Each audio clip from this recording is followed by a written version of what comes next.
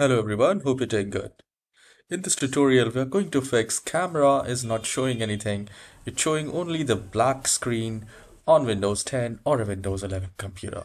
So if your webcam is showing only black screen, whether you have a Windows 10 or Windows 11, this tutorial is for you.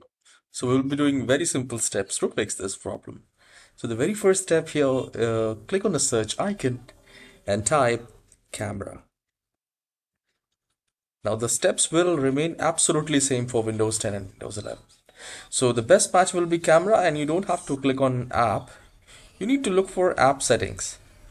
And once you click on that app settings, a new window will appear like this. App installed app camera. Now here, please uh, make sure that it's selected um, run app run in the background. So it should be always not the power optimized or never. All right and here the next step is to reset it. All right so just click on reset and then try to play. Try to open your camera and see if that works for you. So the first thing is to select here always then reset it. Oh I just did it. Then just reset it and restart the computer and see if that camera works for you or not if it's not, we will move to the next step. So here you need to do a right click in your start icon and then go to device manager. Device manager is open. I'll maximize it. And here we are looking for cameras. So I can see uh, the camera right here. You will also have the camera uh, name here. I'm using Xiaomi USB 2.0 webcam. I'll just do a right click and I'll go to properties and I'll go to driver.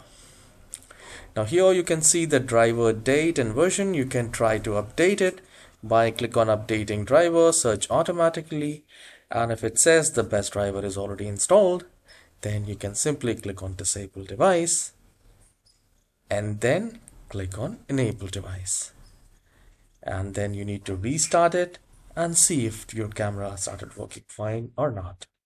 If not, take the name from here open your favorite browser and visit the manufacturer website.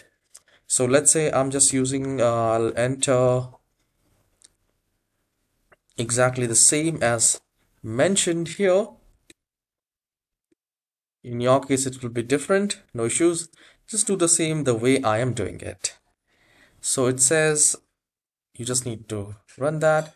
And here you can download the exact driver from the manufacturer website.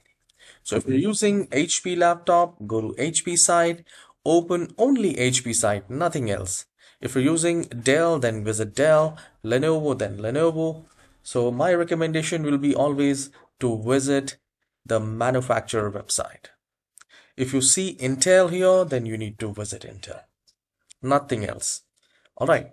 So you just need to download and install the latest camera driver and see if that works for you. And then if still that doesn't, then type troubleshoot and troubleshoot settings and go to other troubleshooters and select the camera. Alright. So you can also run the troubleshooter and see if that works for you. Uh, for Windows 11, it might not. Let me know in the comment section that it has fixed your camera showing black screen only is fixed or not please do let me know. I'll tell you a few more steps. And guys please hit the like and subscribe. I'll see you in the next video. Have a wonderful day